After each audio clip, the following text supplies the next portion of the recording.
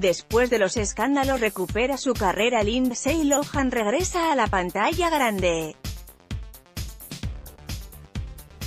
Foto, Getty y Machistali como había venido prometiendo en los últimos tiempos, Lindsay Lohan está retomando poco a poco su carrera como actriz y sus fans por fin pueden ver el tráiler de su primer papel de peso desde la desastrosa película A The Canyons 2013.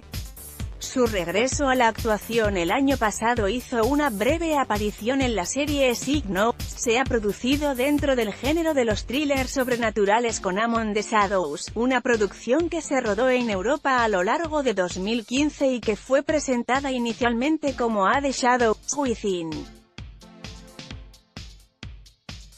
La antigua estrella infantil da vida a uno de los personajes principales, la mujer de un importante político que, según se ha desvelado en los primeros vídeos e imágenes promocionales, resulta ser además un vampiro.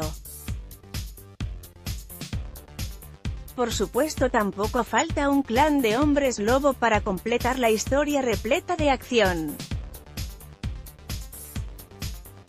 Quienes se sientan incapaces de esperar para ver a su ídolo hasta que el filme se estrene el próximo 5 de marzo en distintas plataformas digitales podrán calmar sus ansias de Lindsay viendo a la empresaria en el reality que ha rodado para MTV, en el que muestra su lado más responsable mientras maneja su club y restaurante a pie de playa en Grecia.